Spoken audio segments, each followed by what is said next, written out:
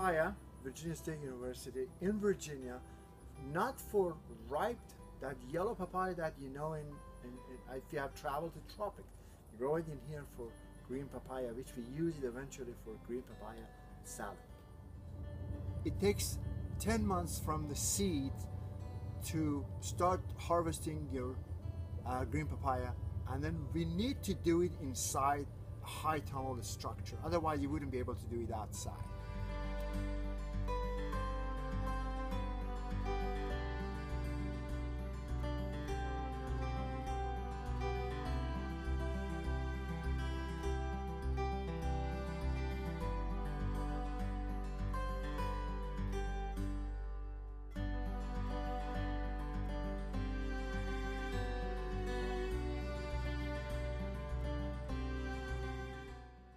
Now feed and water your papaya plants and watch them to grow.